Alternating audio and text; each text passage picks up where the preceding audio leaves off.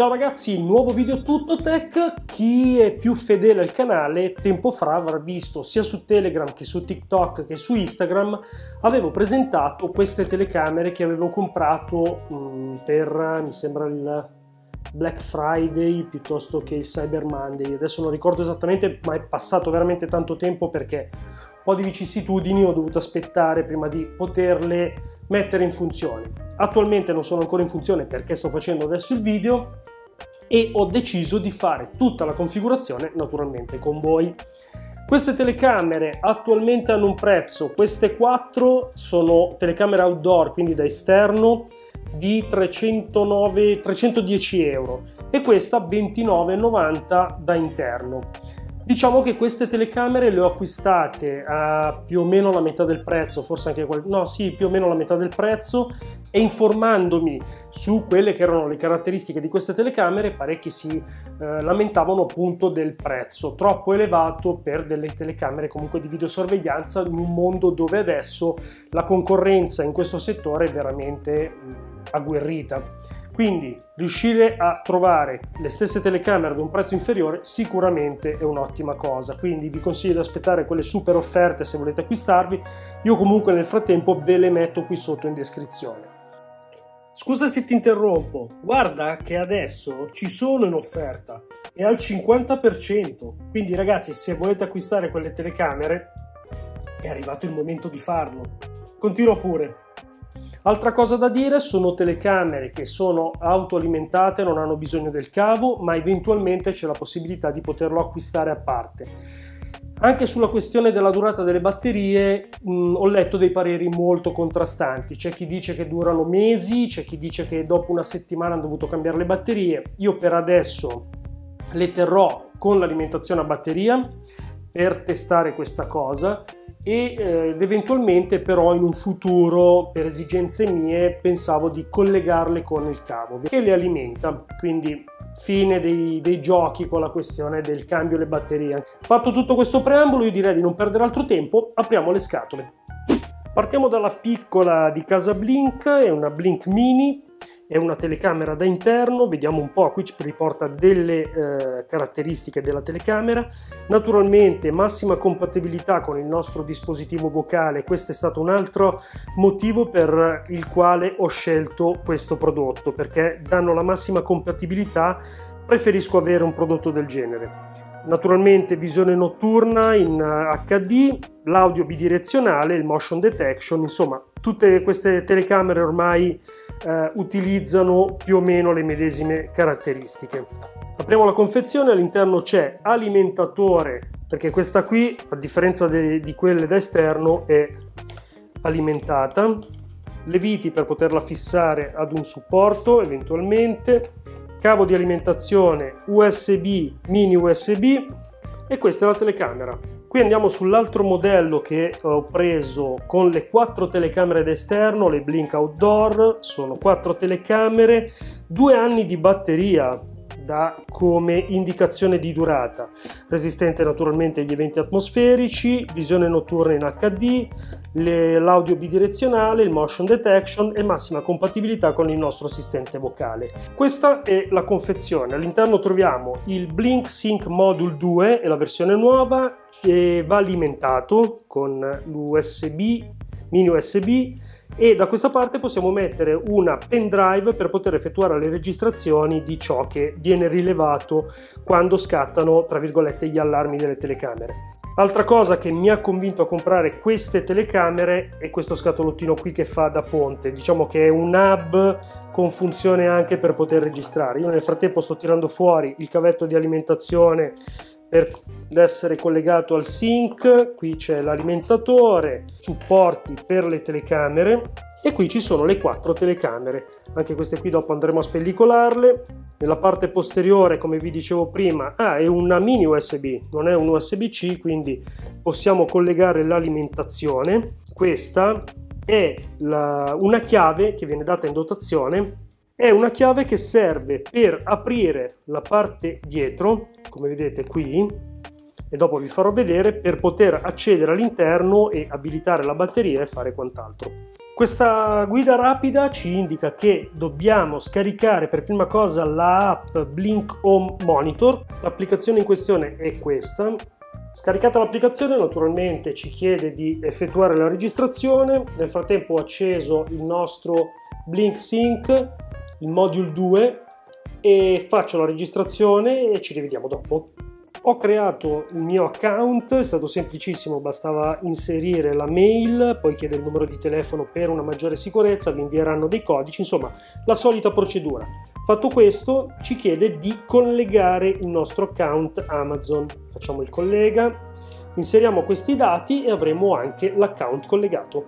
Ho collegato l'account Amazon, mi ho fatto inserire tutte le credenziali Qui ci dice che come al solito per tutte quante le app che includono telecamera bisogna aggiungere qualcosa, basta fare clic sul tasto più in alto a destra. Prima cosa andiamo a collegare il sync. Qui ci dice che vuole accedere alla fotocamera perché nella parte posteriore c'è un QR code, quindi faccio questa operazione e ci rivediamo dopo. Ci siamo, creiamo un nuovo sistema. Adesso ci dice di dare un nome a questo sistema. Il sistema non è nient'altro che il gruppo di telecamere che verranno collegate al sync. Noi in questo caso lo chiameremo casa, molto semplicemente, infatti ci sono anche delle, degli esempi sotto. Ci chiede se sta lampeggiando la luce blu, facciamo trova il dispositivo, qui naturalmente vuole accedere al wifi di casa, vuole rilevare i dispositivi della mia rete, gli do l'ok, sta cercando la rete e ci vediamo dopo. Inserita la password, sta cercando e scaricando gli aggiornamenti del, del sync, ecco, trovato anche il dispositivo e abbiamo creato il sistema casa.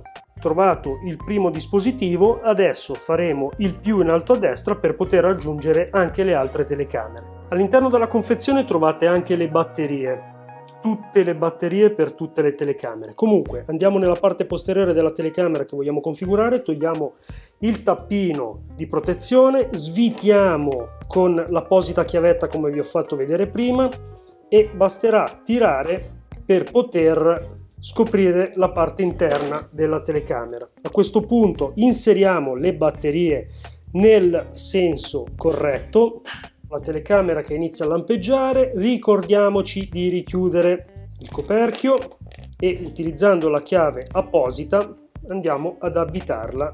Rimettiamo il tappino di copertura, torniamo nell'app, facciamo il più in alto a destra e troviamo la nostra telecamera di riferimento. La nostra è questa. Anche qui c'è da scansionare il QR code nella parte posteriore della telecamera che naturalmente era nella parte sottostante. La inseriamo in questo gruppo che abbiamo creato precedentemente, facciamo continua, sta facendo la ricerca della videocamera, nel frattempo sta facendo l'aggiornamento del firmware della telecamera, videocamera aggiunta correttamente, facciamo avanti. Ci viene data l'informativa che uh, è stata attivata gratuitamente la prova al piano Blink Plus che comprende che poi naturalmente possiamo disdire in qualsiasi momento, non perdere mai nulla, accedi a registrazioni, video su cloud illimitate, insomma abbiamo tutta una serie di agevolazioni, diamo il fatto, anche se poi dopo andrò a disdire l'abbonamento, clicchiamo sulla telecamera e vediamo il funzionamento la telecamera ha un leggerissimo ritardo, questa cosa vediamo se è dovuta al fatto che adesso lo, il, il, modulo sync è lontano dal modem e magari avvicinandolo si avrà una reattività maggiore.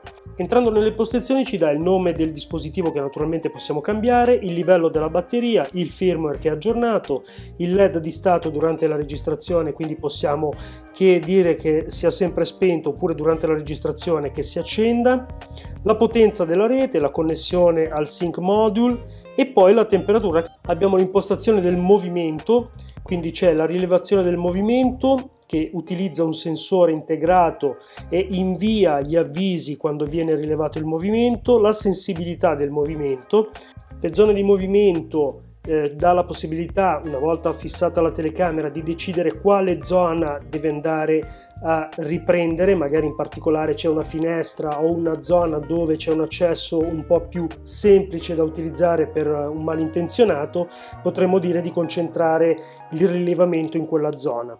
Tempo di riattivazione regola per quanto tempo dopo un evento di movimento la, teleca- la videocamera non deve rilevare il movimento. Magari c'è stata un'infrazione o c'è stato un falso allarme, si va fuori a verificare, quindi per non continuare a ricevere delle notifiche, magari gli possiamo dire per 25 secondi da quel momento non mandarmi altre notifiche.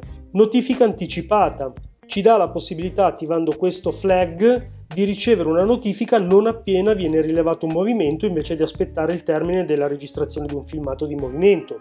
Abbiamo le impostazioni video e foto, lunghezza del filmato, quindi si può impostare la lunghezza della registrazione dei filmati di movimento, la qualità del video che può essere alta, standard o risparmio, quindi si avranno più o meno dettagli, io per adesso lascio quella standard e anche quella consigliata. Questo flag invece ci dà la possibilità, eh, una volta terminato il filmato in anticipo, se il movimento si ferma. La registrazione dei filmati si interromperà non appena la videocamera smette di rilevare il movimento. Poi c'è la visione notturna, la lasciamo in automatico.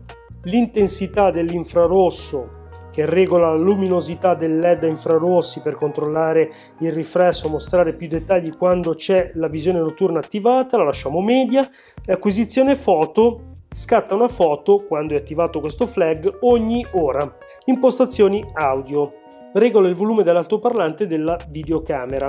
Impostazione della privacy, anche qui la zona di privacy, eh, se magari la mettete in camera da letto, potrete dire la zona del letto voglio che mh, mm, lì ci sia una copertura di privacy. Quindi immagino che quella zona lì venga pix- pixelata piuttosto che tolta direttamente dal, dall'inquadratura.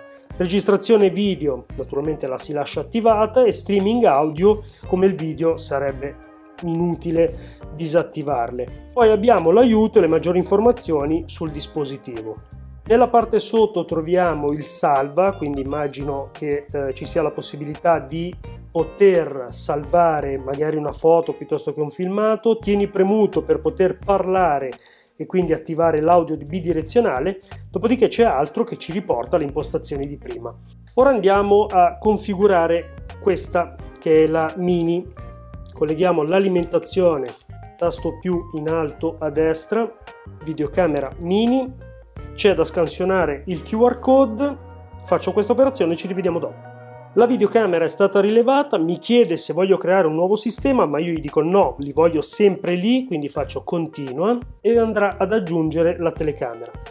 Per poterlo fare deve rilevarla naturalmente, stessa cosa di prima, sta lampeggiando blu, Trovate la videocamera, ha fatto anche l'aggiornamento del firmware come la precedente, dispositivo videocamera mini aggiunto al sistema casa, quindi facciamo fatto. Configurazione effettuata. Vi ricordo poi naturalmente di andare nell'app del nostro assistente vocale alla voce skill e scaricare ed abbinare la skill di Blink.